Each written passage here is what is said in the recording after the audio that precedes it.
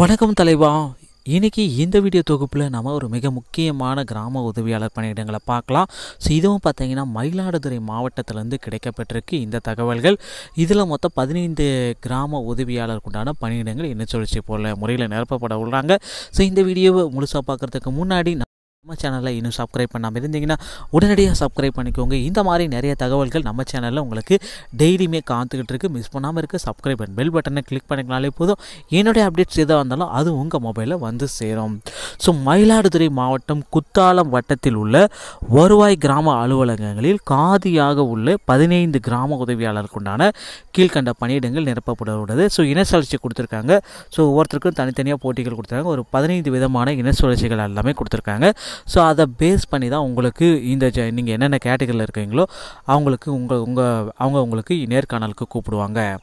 So மேலும் பணியிடங்களுக்கு அவங்க கொடுத்துருக்க டேர்ம்ஸ் அண்ட் கண்டிஷன் நீங்கள் ஐந்தாம் வகுப்பு பாஸ் பண்ணியிருந்தாலே போதும். தமிழில் பிழை என்று எழுத படிக்க தெரிஞ்சிருத்தல் அவசியம். ஸோ வயது வரம்புன்னு பார்க்குறப்ப பார்த்தீங்கன்னா நீங்கள் பேசிக்காக எலிஜிபிலிட்டி வந்து பார்த்தீங்கன்னா இருபத்தி ஒரு வயது பூர்த்தி அடைஞ்சிருக்கணும்.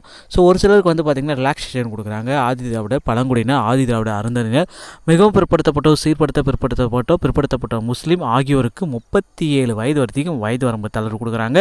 ஸோ இதர வறுப்பினருக்கு எல்லாத்துக்குமே முப்பத்தி ரெண்டு வயது வரம்பு தான் தளர்வு கொடுக்குறாங்க.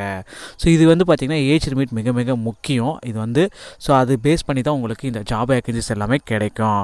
ஸோ விண்ணப்பதாரர்கள் கம்பல்சரி குத்தாலம் வட்டத்தினை சேர்ந்தவராகவும் குத்தாலம் வட்டத்திலேயே நிரந்தரமாக பணிபுரிவராகவும் ஸோ நிரந்தரமாக வசித்து வருவராகவும் இருத்தல் அவசியம்னு சொல்கிறாங்க ஸோ ஒரு வட்டம் இருக்குன்னா அதில் அந்த அந்த ரேடியஸில் இருக்கணும் நீங்கள் ஓகேங்களா?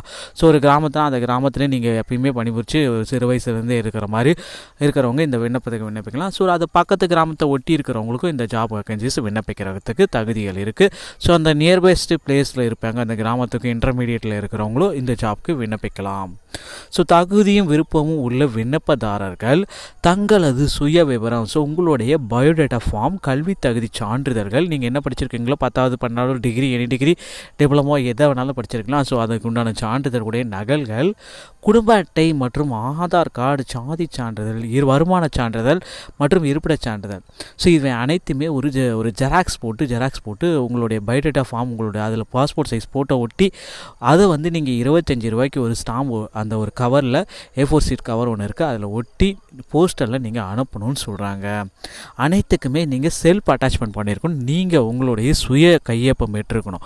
ஒவ்வொரு சான்றிதழுக்கும் கீழேயும் உங்களுடைய சுய கையொப்பம் இட்டு தான் நீங்கள் அனுப்பணும். ஸோ அந்த மாதிரி சுய கையொப்பம் இட்டுட்டு நீங்கள் அந்த அட்ரஸுக்கு நீங்கள் அனுப்பலாம்.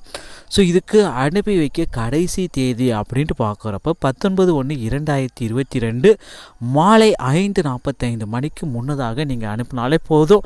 ஸோ அதற்கு பின்னர் வரும் விண்ணப்பங்கள் ஏற்றுக்கொள்ளப்பட மாட்டாதுன்னு சொல்லியிருக்காங்க.